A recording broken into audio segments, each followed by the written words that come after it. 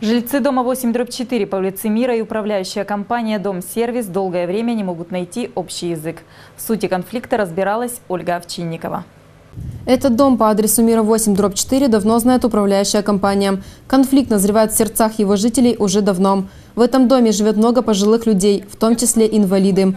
Позвонив в редакцию Сбестовского телевидения, пенсионеры жаловались, что выходить во двор собственного дома становится невозможно, потому что тротуар заставлен автомобилями, а по двору дома постоянно движется транспорт. Мы ведь также платим за все на свете, за квартиру регулярно платим, за все платим. И нет ничего для нас.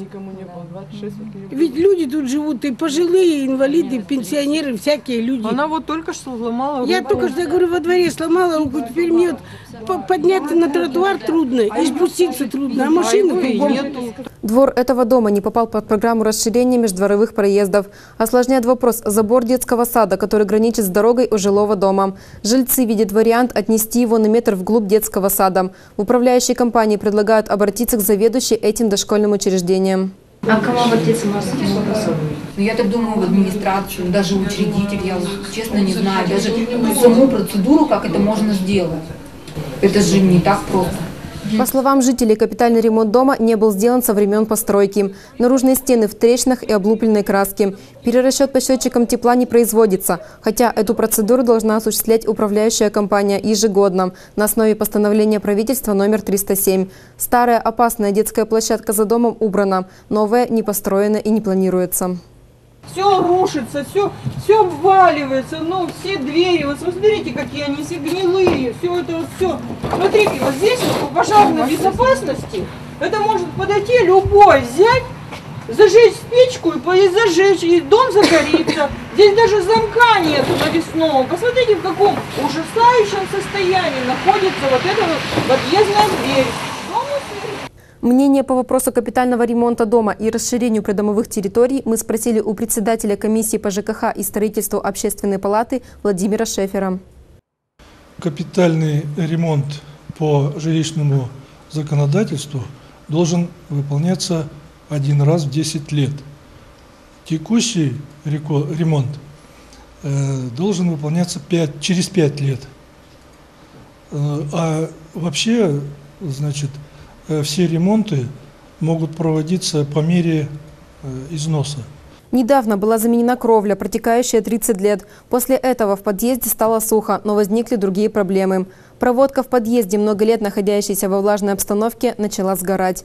Несколько раз в год жильцы вызывают пожарных, ведь одновременно во всех квартирах сгорает бытовая техника, находящаяся во включенном состоянии. Убытки платят не за все и не всем. По словам жителей, они устали обивать пороги управляющих структур. Два года назад, обратите внимание, столб стоит, сбивали, ребенка чуть не сбили. Женщину сбили. Убирать дворникам некому, некогда. Машины стоят. Машины стоят.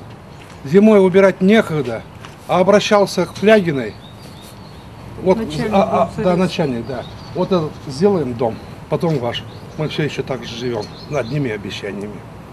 Где это видно? Есть у нас власть или нет в городе? Я обращался в, в под- потребнадзор, письмо. И они мне дали ответ. Со слов управляющей компании, со слов управляющей компании лежат документы вместе. Толку нету никакого.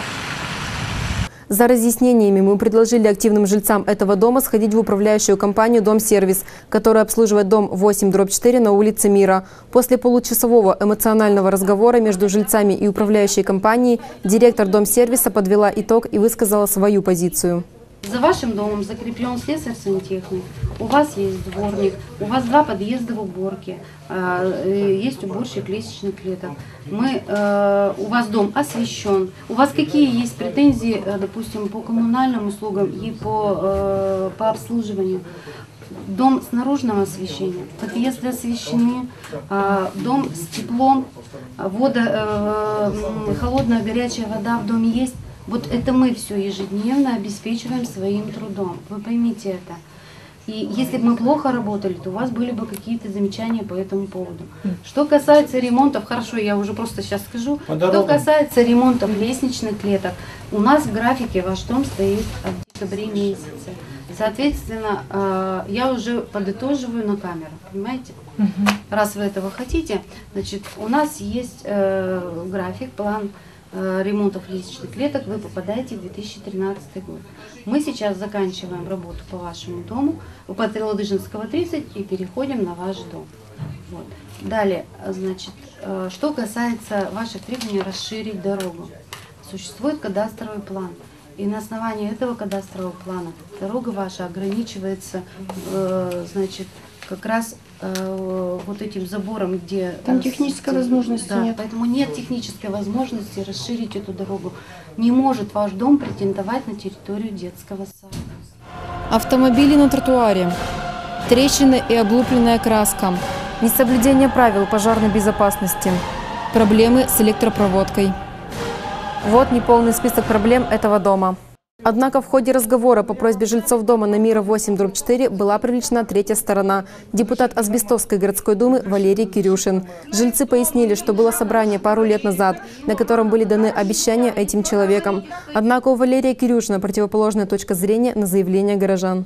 Я вам помогу. Кирюшин сам говорит, я вам помогу. Асфальт и щебенку. Между 8 дробь 1 и гаражами с той стороны временно и с этой Я говорю А я что ли? Я нет, что, да нет, пьяная, конечно. что Да ли? нет, конечно, и я трезвый. Ты говоришь. Женщины, скажите, На что собрании, вы- давайте Не так. знаю.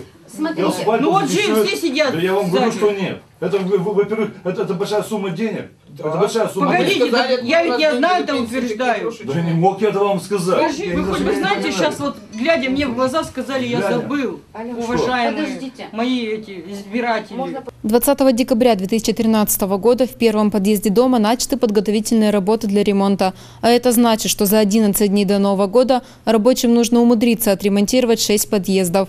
Кто прав, а кто виноват в данном споре, пусть решают зрители. Ольга Овчинникова, Александр Юров, Тимофей Хлебников. Новости ТВ.